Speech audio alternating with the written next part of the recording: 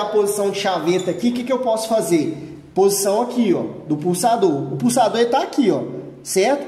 Se eu jogar ele para frente aqui, ó, eu pegar ele aqui, colocar ele para trás aqui, por que, que eu estou adiantando o ponto? Porque ele vai ficar nessa posição. Ou seja, eu adiantei mais o ponto, ó. Vai passar antes aqui, ó.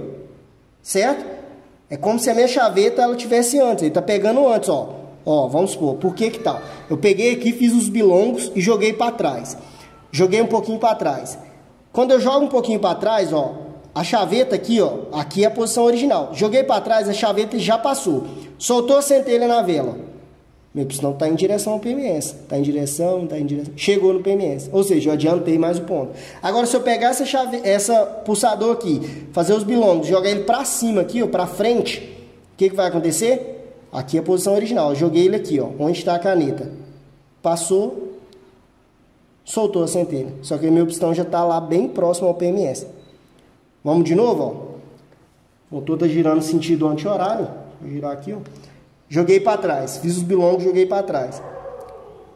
Soltou a centelha, ó, passou aqui, ó. Soltou a centelha.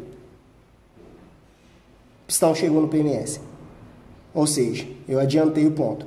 Joguei para frente aqui, ó. Peguei, fiz os bilongos, joguei para frente. Passou a chaveta. Passou aqui, ó. Onde está a caneta. Soltou a centelha, meu pistão já está próximo do PMS.